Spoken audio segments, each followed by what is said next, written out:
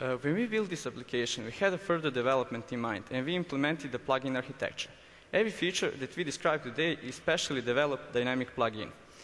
Uh, extensibility of our application rises the business viability of our solution because it is so easy to add new features and at the same time the plugins are maintained separately. The device that we are using is the cheapest on the market.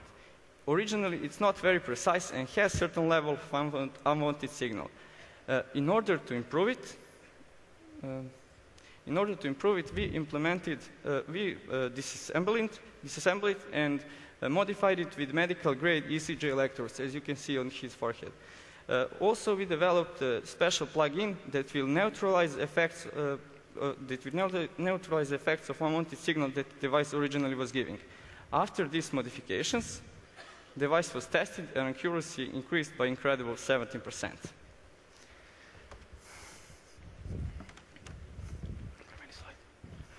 Business model of Neurocommunicator aims at governments to cover the expenses of putting our software to use. Every government has funds that are assigned to health care of disabled individuals.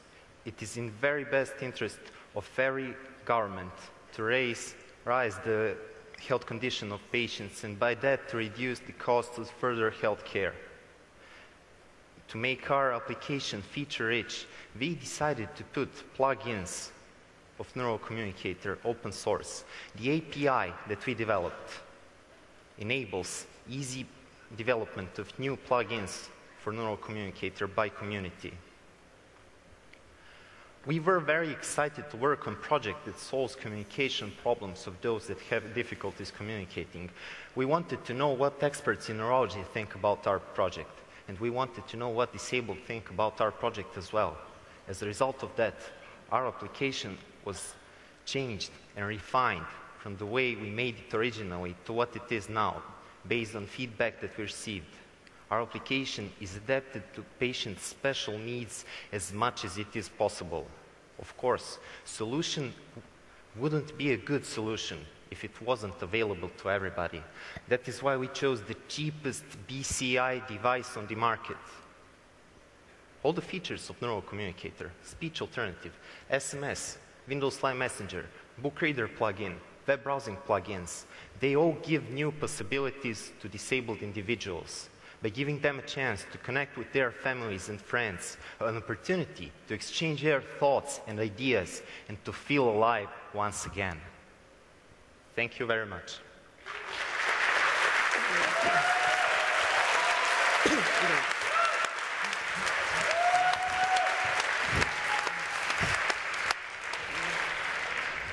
Thank you very much. Excellent presentation. Good stuff. I guess you know I'm thinking that.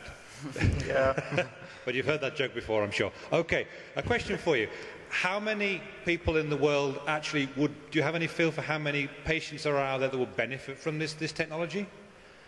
Uh, th there are not many statistics about patients that could benefit from these statistics, in, even in developed countries. But the facts that we could acquire are, for, for example, for spinal cord injuries. For example, in the United States, there are uh, from 250,000 to 350,000 uh, spinal cord injury patients alive. And uh, there are many other conditions that uh, our application can be applied to. Uh, as I said, what is in common for all these conditions is that the Broca's area uh, is uh, damaged. And uh, for, for, any uh, condition that, where communication is difficult and if there is no communication. So would this treatment be for someone that was in that position all the time or, or during recovery? Is it, is it for a chronic patient or is it for someone who's going to get better at the end of the day? Uh, it can be used by chronic patients uh, and those that can be, get better again because it leaves good uh, effect on their, uh, uh, on their uh, condition.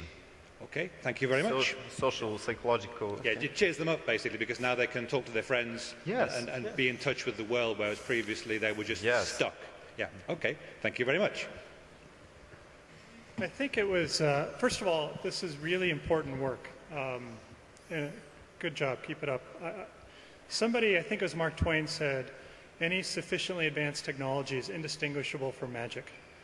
I want Arthur C. Clarke, I stand corrected.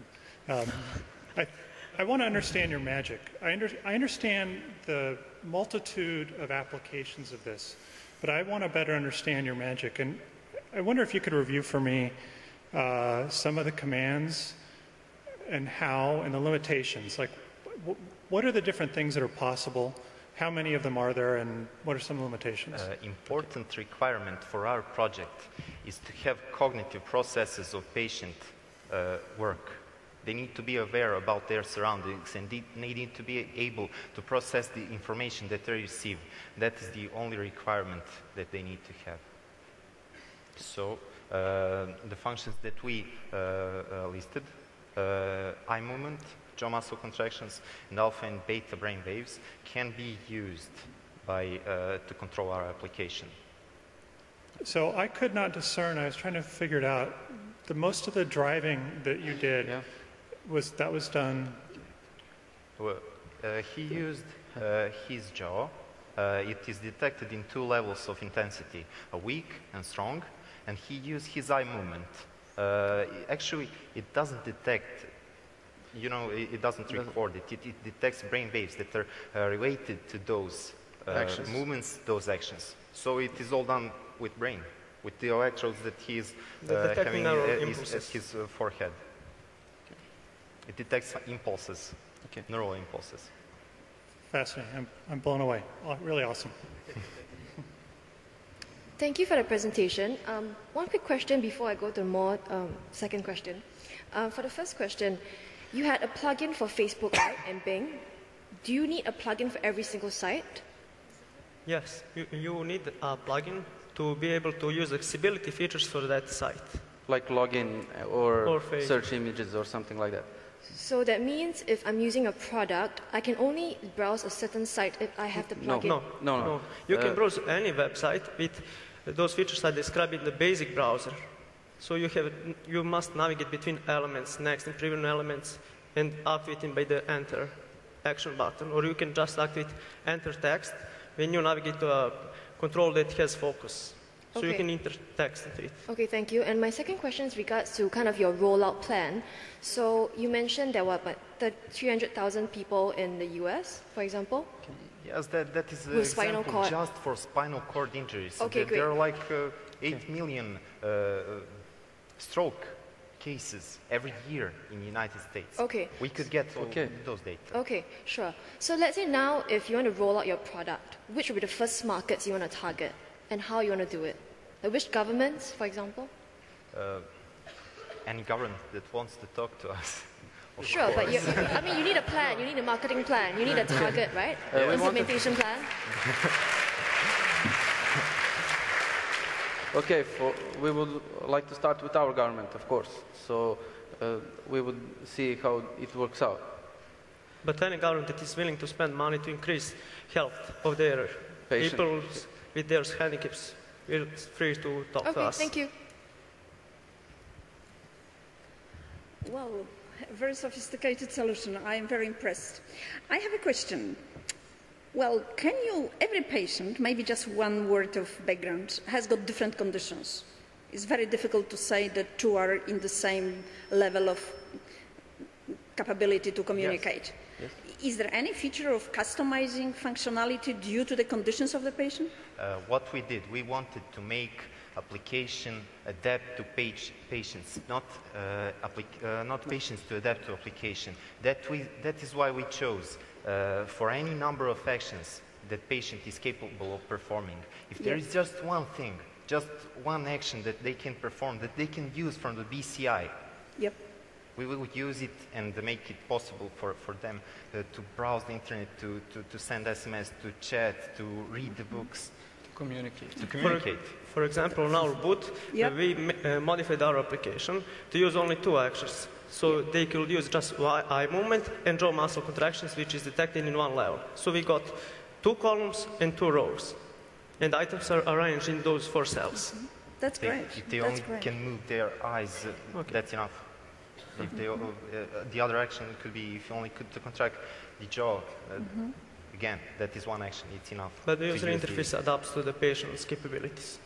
So is it true that every patient will generate the same level of signal which you can recognize? Is there any issue of the fuzzy signal which is The actually... signal, the signal Yeah. can be adjusted. So if a patient can't uh, reproduce a strong enough signal, we can amplify that signal and Okay. signal and use it in our application. Okay, so the, the last and very difficult question. What's the weakest feature of that system? Cost. Thank you. Okay.